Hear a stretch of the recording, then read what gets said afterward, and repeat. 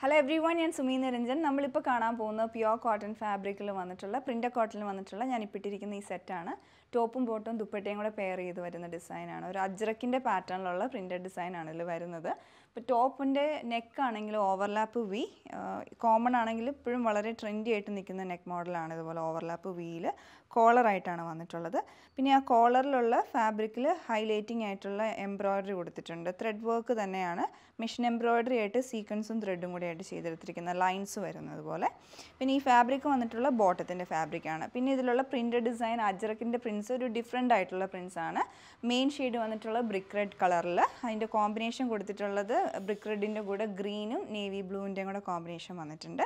Slitter പാറ്റേണിലുള്ള കുർത്തിയാണ്. സ്ലീവിന്റെ എൻഡിലോട്ടും ജസ്റ്റ് ആ ബോർഡർ അറ്റാച്ച് ചെയ്തിട്ടുണ്ട്. ബോട്ടം ഫാബ്രിക് വെച്ചിട്ടുള്ള ബോർഡർ അറ്റാച്ച് ചെയ്തിട്ടുണ്ട്. അപ്പോൾ ഈ ഒരു മോഡലിലാണ് ടോപ്പ് വന്നിട്ടുള്ളത്.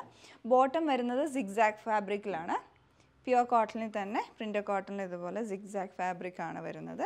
ബാക്ക് ഇലാസ്റ്റിക് ആണ് ഫ്രണ്ട് ബാൻഡുമായിട്ടുള്ള മോഡലിലാണ് വന്നിട്ടുള്ളത്. ഒരു ഒരു ടേപ്പേർഡ് ആയിട്ടുള്ള ഡിസൈനാണ് പെൻസിൽ പാൻസിന്റെ ഒക്കെ ഒരു പാറ്റേണിലാണ് വന്നിട്ടുള്ളത്. ഫ്രണ്ടിൽ നാടയും കൊടുത്തിട്ടുണ്ട്.